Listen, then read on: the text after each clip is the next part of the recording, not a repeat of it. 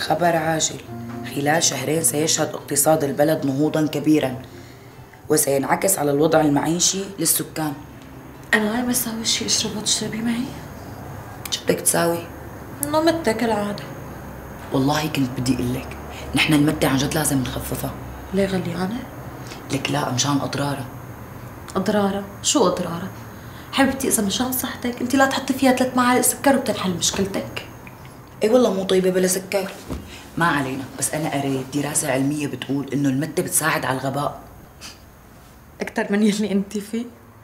إيه بس آه، أي جامعة يعني قالت هي الدراسة العلمية؟ أكيد كامبريدج مو؟ يا مخلوقة بضلوا حاطين دابهم بداب كاسة المتة اللي بنشربها. ما بعرف من أي جامعة. أنا قريتها على الفيس. بقى عاملين لنا كاستين شاي أخضر مع قرفة وزنجبيل. وإذا عنا عسل بيكون أحسن. وكمان هي دراسة علمية على الفيسبوك؟ ليكي ودخلك قالوا لك شيء إنه الساعة 2 و46 دقيقة. بتزيد فوائده شيء؟ لا هي خالتي بعتتها على group الواتساب قالت إنه هي الوصفة ممتازة لمقاومة الكورونا. إيه دخيلك انت وخالتك. ليكي بتعرفي شو؟ كمان أنا خالتي بعتتها على group العيلة. بس حاطة إنه لازم نضيف لها سن التوم. وقال بنشربها على الريق الصبح وما بتدخل الكورونا البيت بالمرة. وليه حريق إيه والله ما بتنشرب. لا لا لا حبيبتي.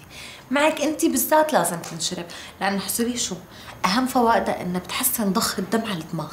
فبلكي بتصيري اذكى وبتبطلي كل ما قريتي لي كلمة دراسة علمية تصدقي إنها دراسة علمية. لك شبك ندى هن بيكونوا كاتبين من أي جامعة وحاطين شوية تفاصيل عنها بس أنا ما على طول بقراهم يعني. أها. وبالله الجامعات وين بيكونوا ناشرين دراساتهم وأبحاثهم ومعلوماتهم الأكيدة؟ على صفحة مدرسة الحياة ولا على الياسمين الدمشقي ولا على شو؟ لك مو الحق عليك الحق علي عم تنصحك. أختي ما بدك تنتصحي بس على القليل لا تتمسخري. إنه على الأساس هي مو كل شغلة بدها تعرفها بتفوت النت بتدور عليها. لك يا ديما صفحة عن صفحة بتفرق ومصدر عن مصدر بيفرق. يعني في صفحات بيكون فيهم مصداقية إلى حد ما. يعني بيكون المعلومات اللي بينشروها فيك يا أختي تاخديها بعين الاعتبار. بس هدول اللي بتتابعيهم أنت هن تبع كل شيء حكي ببلاش كتر منه. المشكلة إنه العالم عم تصدقهم تتفاعل معهم تنشر الأخبار اللي بينزلوها. طيب إيه وأنت من وين بدك تعرفي إنه هي الصفحة موثوقة؟ يعني أنت على أي أساس بتقرري؟ إيه كله بيكتب تحت صفحاتهم إنه موثوق. يعني قبل كل شيء لازم تشغلي لي عقلك. وتحاولي تقرري إذا هي المعلومة ممكن تكون صحيحة. يا ستي في منهم كثير بيستخدموها للدعاية والإعلان. في منهم مشان يجمعوا لايكات وشيرات.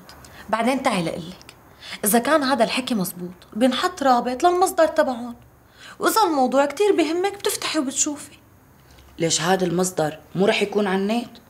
إيه يعني فيه يكون مزيف. على حكيك. هلا ليكي شو؟ فقرت إنك تشغلي مخك بدك تتبعيها بجميع مراحل البحث.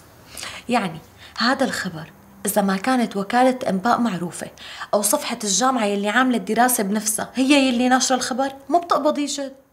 خود بقى. كل خبر بدي شوفه بدي أفتح مصادره وألحق الجرايد اللي ناشرة عنه وآخر شيء مو ضروري يطلع مزبوط لا منروح مندور على أي هبل على النت ومنصدقه ومننشره بين الناس.